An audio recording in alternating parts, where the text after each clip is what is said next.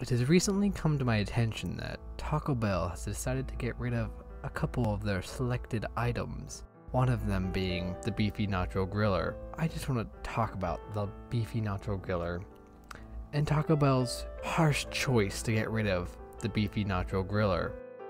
The Beefy Nacho Griller is one of my most favorite items from Taco Bell, and Taco Bell has decided to go and simply just remove this item, this holy grail of taco based foods. I just want to say I'm very disappointed in Taco Bell and their decision in this.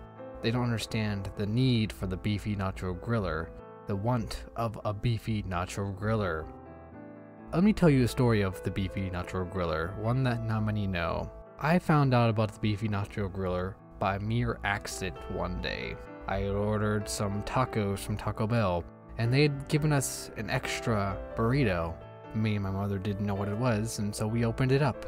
And thus, my love of the beefy nacho griller was created.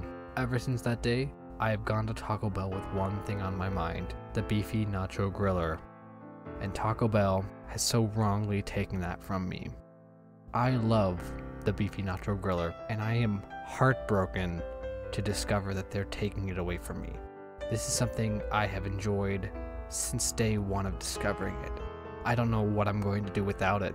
I don't know how I'm going to continue.